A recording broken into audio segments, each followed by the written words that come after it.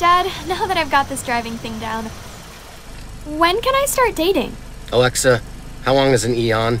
Eon's average duration is 1 billion years.